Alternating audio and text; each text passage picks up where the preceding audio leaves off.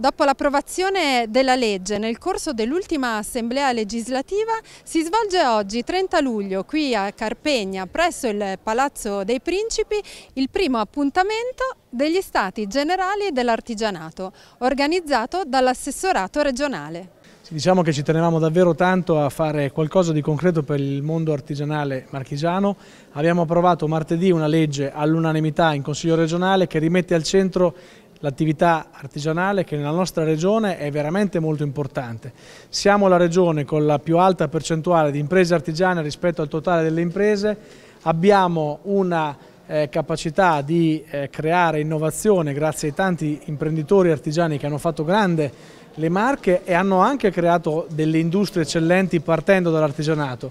E quindi questa è la nostra tradizione, la nostra storia, però deve anche essere il nostro futuro ed è per questo che stiamo qui a Carpegna a parlare del futuro dell'artigianato, quali sono le nuove forme di commercio, quali sono le nuove forme di produzione su cui la Regione attraverso anche i prossimi fondi europei può creare contribuzione per renderle competitive e riuscire a farle stare sui mercati. Insieme a tanti altri settori però l'artigianato è una,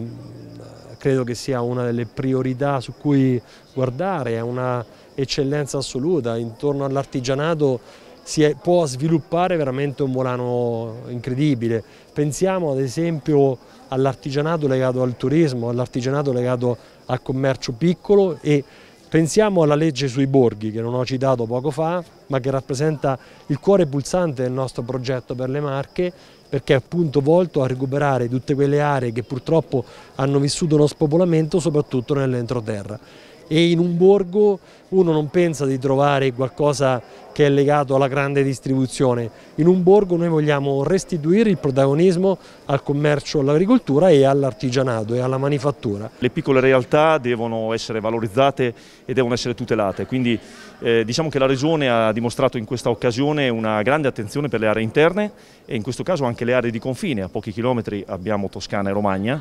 e io direi che è un atto molto importante, secondo me ehm, va proprio nell'ottica di ridare ossigeno ai piccoli comuni che hanno bisogno e non dimentichiamo che da poco sono passati due comuni nostri vicini in Emilia Romagna questo è un gesto della Regione che ci dà la possibilità appunto di valorizzare le aree interne e va nell'ottica anche di dire le marche ci sono eh, e eh, hanno,